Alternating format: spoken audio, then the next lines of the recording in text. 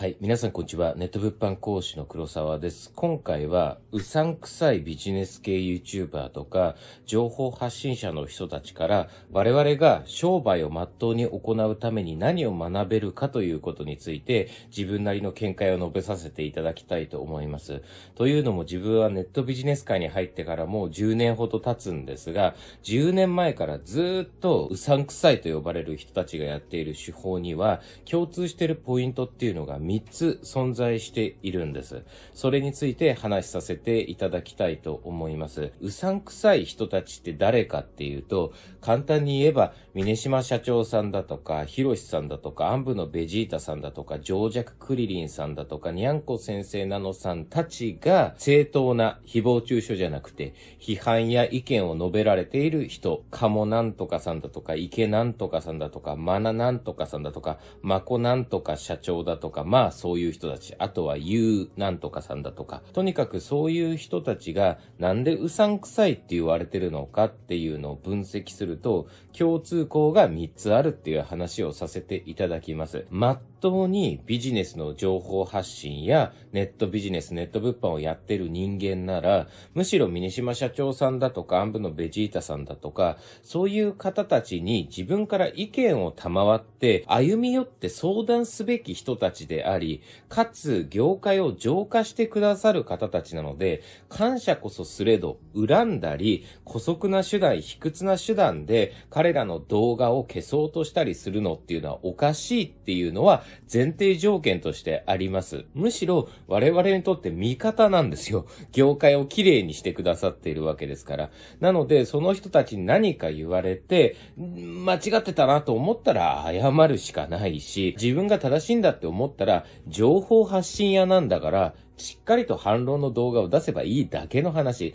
それ以外の行動を取るっていうのは自分がうさんくさいことをしてるっていうのを公言してるようなものなので、無様な抵抗をするのはよろしくないなと個人的には考えています。さて、本題です。三つのポイント、一つ目っていうのは過信ですね。要するに、おごり高ぶりっていうことです。自分がやっていることで、間違ってることも、そりゃ人間だからあります。私だってミスすることあります。しかしながら彼らは自分のことを過信することによって、自分が言ってることは全て正しいっていう考え方でしか生きることができない。究極の自己中なわけです。彼らのことを病気呼ばわりするつもりはないですが、気質とすれば、ナルシシスティックパーソナリティディスオーダー、通称 NPD と呼ばれる自己愛性パーソナリティ障害の気質がかなり高い。実は根っこにあるのは結論で述べさせていただく自信のなさなんですが、本当は自信がないから、その自分の自信のなさを隠すために自分が言ってることは全て正しいと言いたがるし、思い込みたがるし、自分の周りの人も自分の意見に対してイエスイエスイエスと言ってくれるイエスマンしか揃えたくない。自分の意見と違う人がいようもんなら、罵倒したり、拒絶したり、拒否したり、黙殺したりしようとする。ワンマン経営のブラック企業の社長みたいな行動を取りがちだっていうことです。この過信が根っこにありますよね。二つ目。私は稲子の群れって呼んでます。弊社の担当弁護士の安川先生は、理念なきベンチャーって呼んでいますが、一言で言えば根なし草。特定の商売を本当に心から愛して、敬意を持って商売と接している。そしてその商売を介して出会える人々に敬意と尊敬と顧客満足度をしっかりと優先した対応を行っているのではなく、あくまでも彼らにとって儲かりそうなものがあったらわーって飛びつく。じゃあ次こっち、次こっち、次こっちみたいな形で、一つ一つの事業の中身がしっかり整えられていないにもかかわらず、新事業だなんだって言っていろんなものを展開したり、アンチマーケティングを自分で行っちゃうってことですね。ブログはダメだから YouTube だ。YouTube はダメだから仮想通貨だ。仮想通貨ダメだから NFT だ。って言ってたにもかかわらず、NFT もいいけれども、やっぱブログもいいみたいなわけわかんないこと言ってる池なんとかさんとかいうコーチに住んでる人もいますけれども、そういった根なし草のスタイルの商売をしている。自分がやりたいことを勝手にやる分にはいいんだけど、それをそのままあたかも唯一絶対の正解のような発信の仕方をすることによって、他の人たちっていうのを右往左往させてることにご自身が気づいてない。自分は時代の変化に対応してるだけだみたいな綺麗事を言ってますけれども、それは結局ビジレイクってもんでですね、それを一生懸命やってる YouTube だったらこれから YouTube の時代だと思って一生懸命やってる人に対して、いやいやこれから仮想通貨ですよとかいきなり言われたところで、てんやわんやしちゃうわけですね。そういったことを考えていないので、究極の自己中的 NPD 的気質っていうのが商売にも現れている。根なし草で結局飛びついているだけ。私の言い方だと、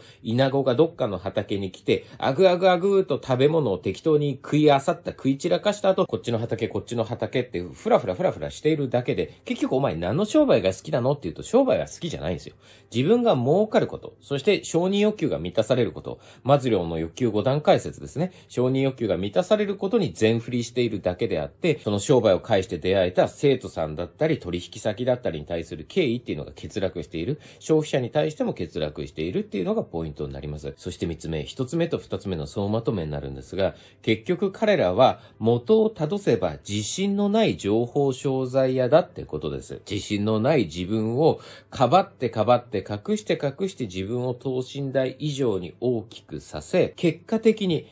形にこだわる。お金の金額にこだわる。自分は何億稼ぎましたよだとか、自分は31の新事業をやりますよだとか、そういった数、数値的なことばっかり気にする。金を通して、数値を通してしか自分に対する自信を客観的に持つことができない哀れな人たちなんじゃないかっていうのが私の意見です。和佐大輔さんと木坂さんという方が作ったネットビジネス大百科という情報商材があります。結局、うさんくさい人たちがやってるのは、そのネットビジネス大百科に書いてある通りの動きなんですよ。自分が好きなものとかではなく、とりあえず何かしらテーマを何でもいいから一つ見つけて、それについて情報商材を出しますと。そしてそれが儲かったら別のテーマを見つける。これをずっと根なし草で繰り返している。私、釣り全く得意じゃないですけど、イカの釣り方の情報商材作ってくださいって言われたら、ググったら情報商材って簡単にできるものなんですよね。もしくは最近の YouTuber でも多いですが、これをやるだけでお腹が痩せるだとか、腕が細くなるだとか、そういった特定の部位の特定のダイエットだったり、筋トレの商材みたいなものを作る。それを販売する。儲けるためだけになんとなくテーマを決めて、それについての情報商材を出している人たちの特徴は、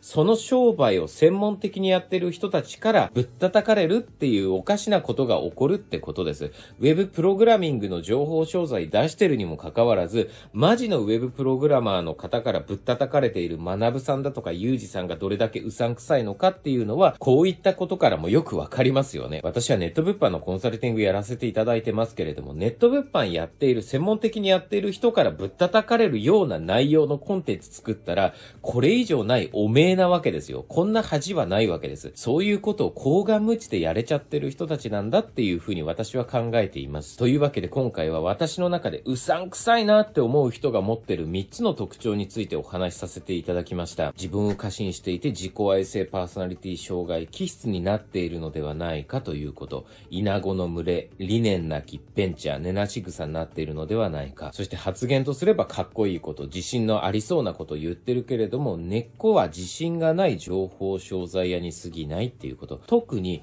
同業者でちゃんと地に足をつけてやっている人たちからその情報商材が叩かれているののであれば、相当要注意だと個人的には考えています。最後までご清聴くださりありがとうございました。